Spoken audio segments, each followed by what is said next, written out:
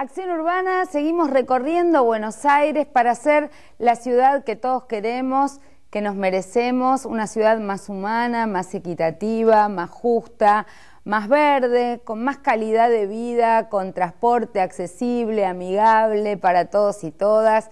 Bueno, estamos trabajando en ese sentido desde la legislatura, junto con los consejos consultivos en cada uno de los barrios y hoy vamos a estar recorriendo los problemas, las necesidades y también las propuestas de la Comuna 5. La Comuna 5 está integrada por los barrios de Almagro y Boedo.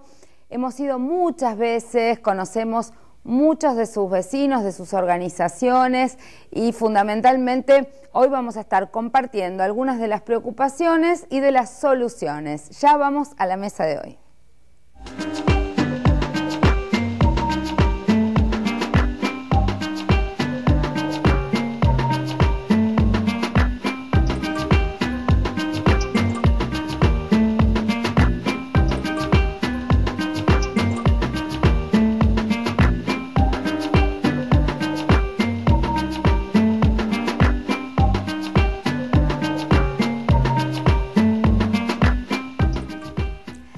Antes de dar comienzo a la mesa de hoy sobre la Comuna 5, quiero recordarles que hoy a las 18 horas vamos a estar en la legislatura con la gente del programa de televisión de cable Salida de Emergencia que hemos declarado de interés cultural. Y bueno, por supuesto los invitamos a todos a acompañarnos, a compartir. Eh, el miércoles 29 es el día de los abogados y las abogadas, todos mis colegas, así que un cordial saludo. Vamos a estar compartiendo actividades con la Asociación de Abogados de Buenos Aires, que siempre colabora con nosotros, con el Colegio Público de Abogados. Y el viernes en la legislatura estaremos con uno de nuestros encuentros mensuales de Yo Quiero el Tango, apoyando a que haya tango en las escuelas, eh, para que todos los niños y niñas y los adolescentes y las adolescentes tengan esto como una opción eh, dentro de las eh, actividades extracurriculares en la escuela. Muy bien, y ahora sí, nos vamos a un barrio de tango también, que es Boedo. Boedo, Almagro, Comuna 5, vamos a presentar en el orden en el que están sentados Patricia Rosselló, que es presidenta de la Asociación Todos por la Plaza de Boedo, que han tenido un éxito importante que ya nos van a contar, que es miembro también del Consejo Consultivo. Silvio Montañana, que es de Peronismo 26 de Julio, del Frente para la Victoria, y está en la Comisión de Basura Cero en el Consejo Consultivo, que mucho trabajo debe tener porque poco avanza la ley de basura cero en la ciudad. Patricia Machado, que es comunera por Proyecto Sur y Daniela Ledesma, que es miembro eh, también del Consejo Consultivo en la Comuna 5 y de la organización El Gleiser Cultural del barrio. Bueno, empecemos por las buenas noticias. ¿eh? Después de tanta lucha, los vecinos... Eh, recordemos que la Comuna 5 es una de las que menos espacios verdes tiene en la ciudad de Buenos Aires y que verdaderamente la asociación que Patricia preside junto con muchos vecinos, han venido librando una batalla para la recuperación y la consolidación del espacio verde de la Plaza de Boedo. Contanos un poquito qué, ha pasado. Judicialmente tuvieron que lograrlo. Sí, nosotros en realidad los vecinos luchamos durante 35 años para que eso se construya en esa estación de tranvías, se construya una plaza. Cuando logramos que se habilite la plaza, el gobierno de la ciudad tuvo la feliz idea de construir la sede gubernamental en el predio, dentro del predio de lo que es urbanización parque. Entonces nosotros ahí metimos un amparo como asociación de vecinos con más de 3.000 firmas del barrio. En la primera instancia no nos fue bien, el juez Scheibler le dio la razón al gobierno de la ciudad porque el gobierno de la ciudad presentó una propuesta alternativa diciendo que la planta baja iba a quedar cultural y elevó las funciones de la sede gubernamental al primero, segundo y tercer piso. Nosotros apelamos esta instancia y el 13 de julio salió, eh, salió la sentencia en segunda instancia donde obliga obligan los jueces a que el edificio quede destinado el 30% a eh, el uso parque, o sea, que tiene que ser lúdico, no puede ser nunca una oficina de alto tránsito, y nosotros eh, estamos muy convencidos de que fue, eh, digamos, gracias a los comuneros que han hecho una declaración que no querían que la sede comunal estuviese en ese lugar, porque el lugar es inapropiado. ¿Eso lo hicieron los comuneros de todos los bloques? incluido el PRO o solamente los de la oposición? No. Eh, bueno, que ahí son mayoría... Hay mayoría de, digamos, el Frente para la Victoria y Proyecto Sur, que son tres y uno. Eh, una de las, la señora también firmó esa declaración. Ni bien fueron electos, eh, ellos hacen esa declaración y nosotros después de la sentencia de Schäuble la presentamos en el juzgado. También presentamos una carta maravillosa del cura párrasco de Santa Cruz, también diciendo que ellos no querían ese edificio de oficinas públicas ahí. Y bueno, y en la apelación, digamos, salió ahora la sentencia que si el PRO no va a la corte de la ciudad, esto queda en firme y los vecinos vamos a tener el 30% del edificio para usos culturales. ¿Y ustedes están de acuerdo con que sea el 30 y no todo el edificio? Nosotros no estuvimos de acuerdo desde el origen. Vamos a acatar esta porque no, o sea, nosotros entre nosotros hemos discutido si íbamos a ir o no a la Corte. Para ir a la Corte tenemos que tener recursos, cosa que preferimos hacer una especie de batalla cultural, porque este gobierno no va a durar 100 años y nosotros decimos el edificio que hoy puede tener un porcentaje cultural, podrá ser mudado en, otro tiempo o en otros momentos, porque la más perjudicada es Almagro en esta situación, porque Almagro tiene una sede cultural fuera de su barrio, tiene 120 mil personas, nosotros tenemos 50 mil personas y toda, digamos, la comuna está perjudicada. Así que bueno, nosotros creemos que con las organizaciones sociales del barrio estamos luchando mucho para que esto pueda en un momento o en otro seguir saliendo a favor de los vecinos. Contanos un poco, vos estás entonces eh, tomando los temas de ecología, ¿qué pasa con la basura en estos barrios?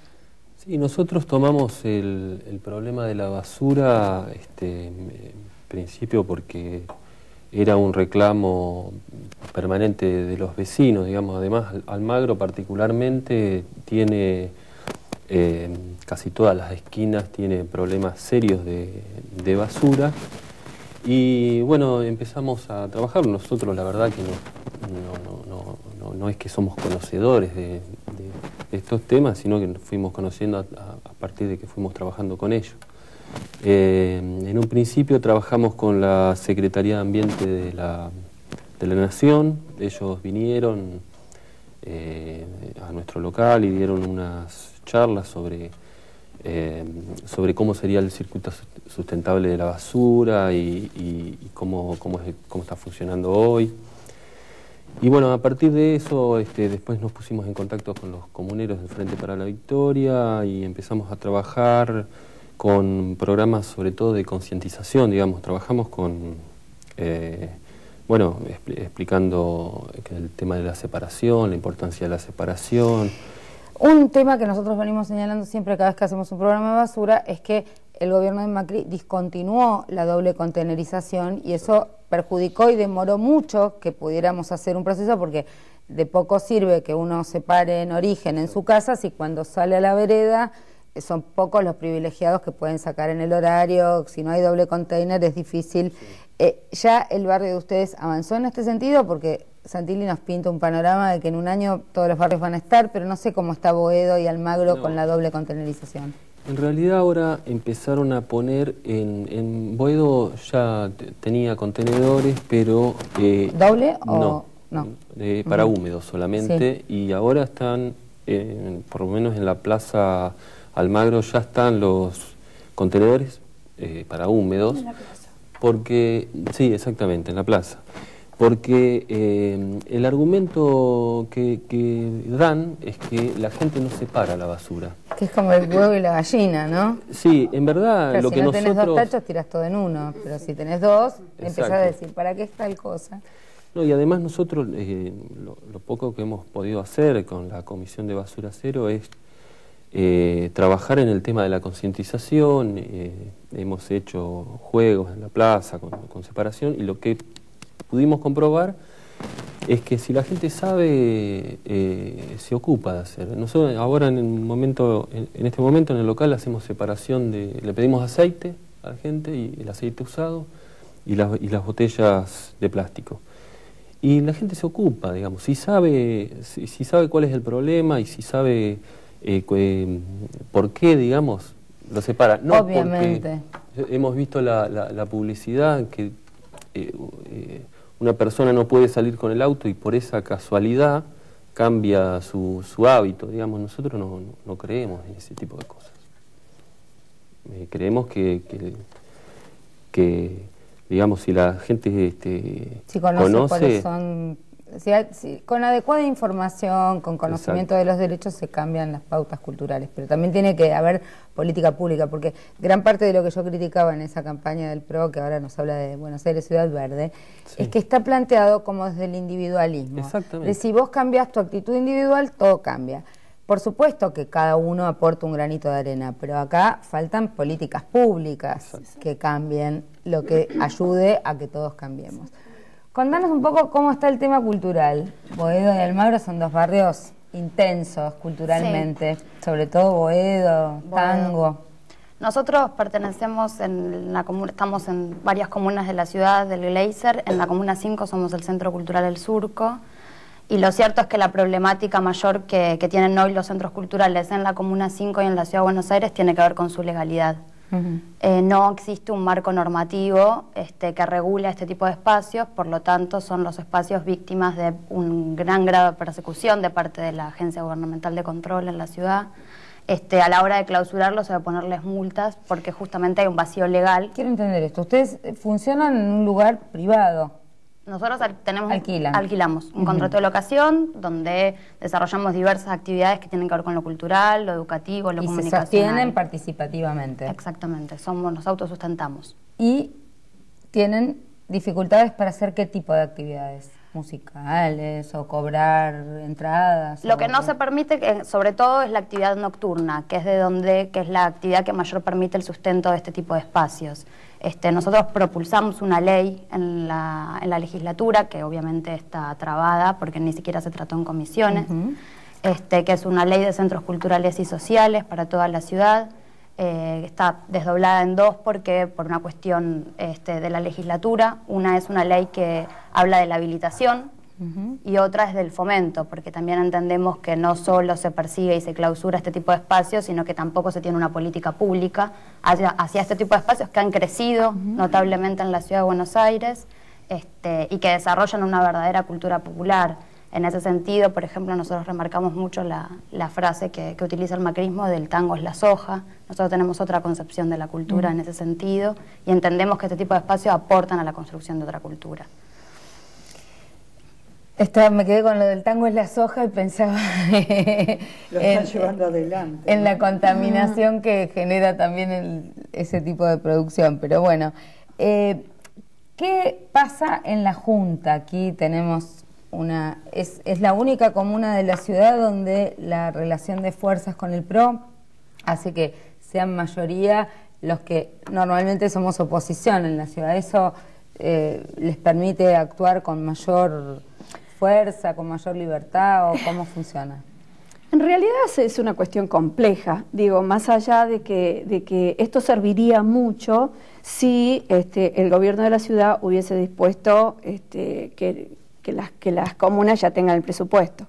O sea, cuando nosotros no tenemos absolutamente nada para poder funcionar, las discusiones o las propuestas que haya, digamos, no son, eh, sí, eh, hemos, hemos, este, hemos discutido y hemos llevado pequeñas propuestas que, hacen que no hacen, digamos, a, lo más importante la comuna. Lo más importante son las cuestiones que nosotros estamos tratando acá.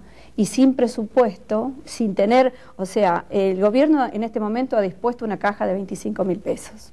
¿Y la disponen realmente ustedes o no? No, no, no, no, ha dispuesto, digo, ¿La tiene, ha dispuesto. Eh, la UAC. Eh, es, ¿Quién lo maneja? No, eso lo maneja el, presidente de la comuna. Eh, hemos discutido, pero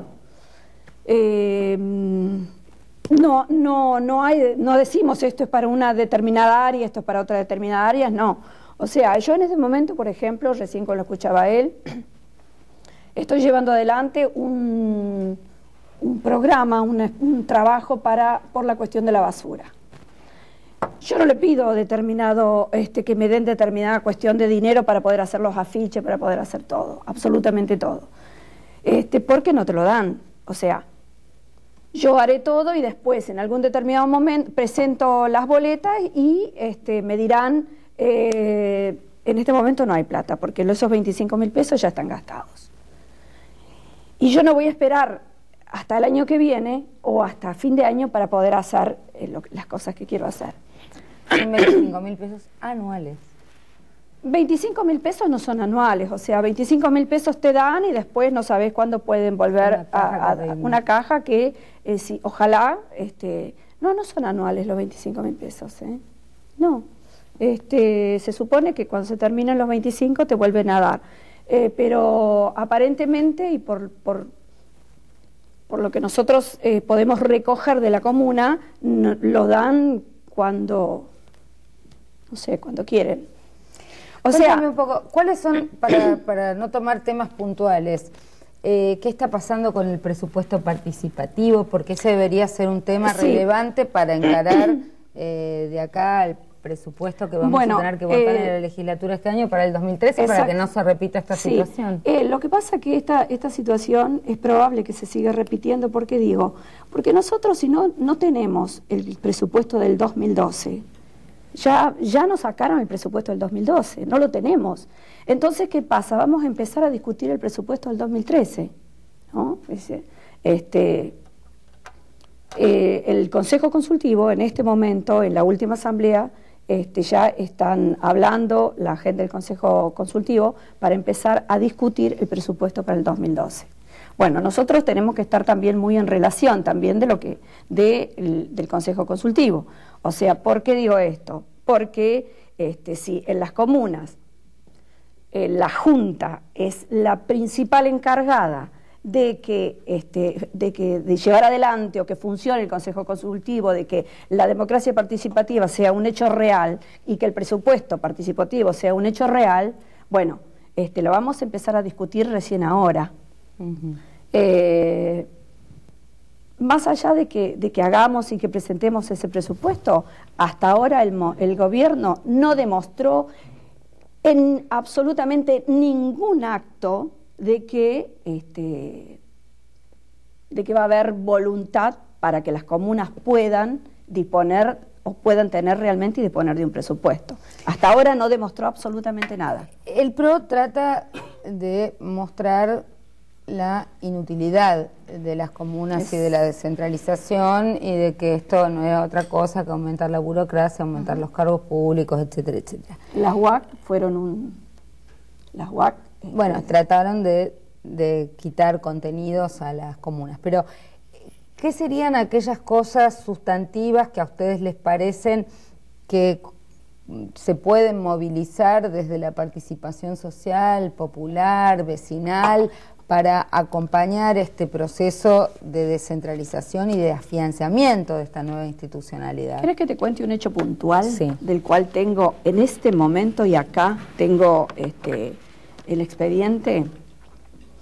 Teniendo en cuenta el problema de la basura que en el lugar eh, de Almagro y un sector de Almagro es crítica total, porque todas las esquinas se han convertido en verdaderos basurales, un grupo de vecinos va porque saben que yo soy la comunera, y me hace entonces, ¿qué les digo? Junten firmas, hagan cartas, junten firmas, y yo llevo reclamo. Juntan firmas, se lleva reclamo. ¿Qué se contesta? De espacios públicos, de... ¿Qué contestan? Que han llegado, que han ido, que acá lo tengo la contestación, o sea, no lo estoy inventando, que fueron, sacaron fotografías y que el lugar se encontraba en perfectas condiciones, limpio. Contestan, esa es la contestación, se hace el expediente y se le manda a los vecinos. O sea, ni siquiera hay voluntad para escuchar los reclamos de la gente. Yo creo que este, este proceso, todo lo que se puede hacer de la comuna, yo creo que va, va a tener necesariamente que seguir siendo una cuestión de lucha, tanto de, la, de, de, los comuneros que estemos y que realmente, porque y yo no me desdoblo. Yo estuve de aquel lado, estuve, soy una militante y que estuve militando hasta el momento de ser junta y estuve con todos los compañeros, todos los, vecinos, las organizaciones que se están movilizando por todo este tipo de cosas. Decimos basura, como podemos decir espacios verdes, parque de la estación, este, eh, eh, Plaza Boedo. Plaza Boedo. Y bueno, y yo creo que, que para que la comuna salga adelante vamos a tener que seguir haciendo mucha fuerza desde abajo con las organizaciones sociales, con los vecinos y va a ser la única forma, creo. ¿no? Igual yo creo que en Boedo, para no deprimirnos en Almagro y en Boedo, este, tenemos una organización sólida, muchas organizaciones sólidas. Nosotros ahí en Boedo armamos una red de cultura hace más, de, desde el año 2004, este año vamos a festejar la semana de Boedo 2008-2009, ya perdí la cuenta, y las organizaciones somos las que vamos traccionando eso y somos la base de ese Consejo Consultivo. Este Consejo Consultivo que nosotros tenemos ahora se constituyó dos años antes de que el PROS fuese empujado a decir, bueno, juntemos los consultivos. Entonces, todas estas organizaciones de base que nosotros tenemos van a dar sus frutos cuando el gobierno cambie. Ahora, para cambiar el gobierno, muchas veces nos es muy difícil llegar al vecino con la propaganda. A nosotros nos pasa con la plaza cuando decimos, parece que vuelvo siempre el tema del verde yo, este, el tema es que vos te inauguran un edificio nuevo, son 5.000 vecinos nuevos que vienen sin historia. Ah, qué linda esta plaza, me conviene sacar la boleta acá, pero no es así. Hace 35 años, Boedo no tenemos ni medio metro cuadrado de verde, y con el resto de las cosas igual. Nosotros llegamos a que Tellerman nos dieran dos contenedores separados. En casa era un basural impresionante sobre la calle México. Cuando se pusieron los contenedores separados, dejaron de desaparecer, o sea, desaparecieron las ratas, el vecino va, pone, qué sé yo. Ahora después volvimos a un solo contenedor y ahora hasta hay días que no tenemos ni contenedor, entonces el tema es la política pública y la gente acompañando y cómo nosotros llegamos más masivamente, porque muchas veces las elecciones se ganan por la propaganda que la gente ve por televisión, ¿no? Vos querías hablar. Sí, me parece que hay una cuestión que tiene que es fundamental en, lo que está sucediendo en la ciudad de Buenos Aires, que tiene que ver con que nosotros decimos todo el tiempo no existe descentralización real, sino existe descentralización de la plata. este, y en ese sentido la situación es grave, las comunas si las comunas hoy no están vacías es porque lo que dice Patricia, efectivamente las organizaciones sociales y conjuntamente con los vecinos estamos llenando de contenido con mucho esfuerzo ese tipo de espacios como son el Consejo Consultivo, porque entendemos que esa instancia es una instancia desde donde desarrollar y potenciar nuestras propias iniciativas y también la historia de organizaciones como la Red de Cultura de Boedo, la Asociación de Vecinos por la Plaza de Boedo. Ahora, con una caja chica de 25 mil pesos, difícilmente esas iniciativas puedan tener este, un, cauce este, y puedan desarrollarse. además, en mi experiencia, y sobre todo en el trabajo que hicimos en el INADI, cuando vos empezás a difundir que va a haber líneas de trabajo, que aunque sean pequeños emprendimientos de 10 mil pesos, de 5 mil pesos, de 15 mil pesos, se van a debatir participativamente, que se concursan las iniciativas, que decidimos entre todos si se hace esto o aquello, que se prioriza, pero tenés que tener un mínimo de capacidad eh, para poder eh, darle transparencia y participación a, la distribución de recursos. Pero eh, seguramente si se descentralizaran en mayor medida algunos recursos, se aplicarían muchísimo mejor esos fondos y con mejores rendimientos. Se llegaría más gente, los proyectos son mucho más fluidos y con más contenido. Así que bueno, nosotros vamos a seguir trabajando con ustedes. sí. Este, no, lo, que quiero eh, lo que quería decir es que eh, desde el área de educación y cultura estamos organizando, eh, visitando las escuelas y las organizaciones, porque los días 24 y 31 de agosto este, queremos hacer eh, en, esas, en esas dos fechas un seminario este, para tratar el problema eh, ambiente en general este, y basura en particular. Bueno, buenísimo. Nosotros vamos a seguir en contacto con ustedes, vamos a seguir de cerca cómo sigue el tema de la Plaza de Boedo y también vamos a seguir apoyando la Plaza de la Estación, que Estamos teniendo algunas reuniones con la Secretaría de Transporte de la Nación para ver si podemos recuperar ese espacio para los vecinos y para la cultura del barrio, así que es muy importante eh, seguirlo de cerca. Y bueno, me encargo, tomo la aposta para ver los proyectos de centros culturales y sociales en la legislatura y seguir dando una mano. Así que nos estamos viendo, será hasta la semana que viene. Seguimos en Acción Urbana, trabajando para hacer de Buenos Aires la ciudad que todos y todas queremos más justa, más equitativa, más verde, más humana. Chao, hasta la semana que viene.